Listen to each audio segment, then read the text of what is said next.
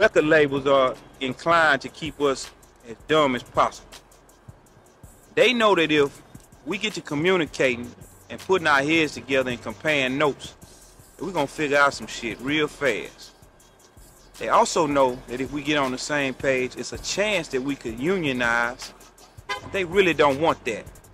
They don't want rappers united. They don't want artists united. They want division, because divided they can conquer.